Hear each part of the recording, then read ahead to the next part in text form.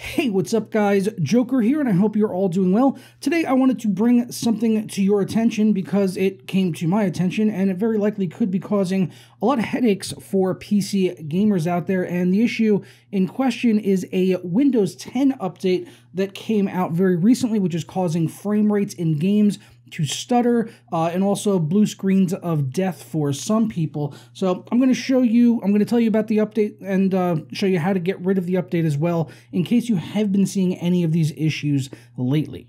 But first, today's video is brought to you by MMORC.com, where you could save money on games for all of your favorite platforms, as well as software like Windows 10 Pro, which you can get for just $15, as well as Office 2019 Pro and Office 365 and if you act right now you can get an additional 27% off with my code JOK27 at checkout and that'll knock the price down on Windows 10 Pro from $15.29 all the way down to $11.16 and of course, they accept a wide variety of payment from PayPal to credit cards to Bitcoin. So be sure to act now and hit up the links down in the description below.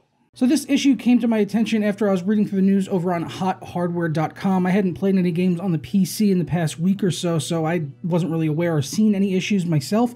Uh, so I booted up a game of Rainbow Six Siege as well as Mafia Definitive Edition. And on both of those games, I was seeing some unusual stuttering um, and load like when loading into the game and areas and stuff like that. So it could have been this issue. It might not have been. So you know, you you may or may not be having problems um, because of this issue, but it's being pretty widespread and talked about a lot uh, over on various subreddits. So the update in question is KB 51330, and it's causing bad gaming performance. Reading this post on Reddit, it says that Microsoft forced the April update, but it has the same issues we had experienced with the previous optional update. Random stutter, unstable FPS, VSync seems broken sometimes, and if I screen share on Discord, my FPS in games becomes very unstable with VSync enabled. Uninstalling it makes everything go back to normal, and a lot of other people were having a similar issue, and getting rid of this update uh, did seem to resolve the issue for some people. So if you have been having any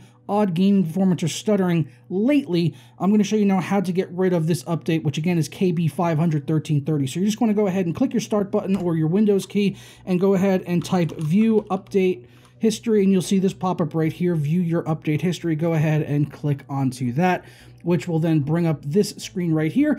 And you can see in the top left, we're going to want to go ahead and click uninstall updates. And then we're going to look for the update, which is actually right here, it was installed for me automatically by Microsoft on April 13th. So it's security update for Microsoft Windows KB 500 1330. If you don't see it right there, you may not have it installed, or you can go ahead and search um, for installed updates and just go ahead and type in that number again, KB 500 1330 and it should pop up right there. Uh, so then you just basically want to right click on it and go ahead and hit uninstall. If it asks you if you're sure you want to uninstall the update, go ahead and click yes and it'll uninstall it and then it's it, if it doesn't prompt me then you, I mean even if it doesn't prompt you you should probably go ahead and reboot your PC in order to make sure that the update is completely gone uh, and then your issue should be resolved with your frame rates if it was being caused by that. So just wanted to bring you guys this quick uh, video and tutorial on how to do this. So if uh, you've been having issues and this resolved it for you, let me know down in the comments below. I'd appreciate that.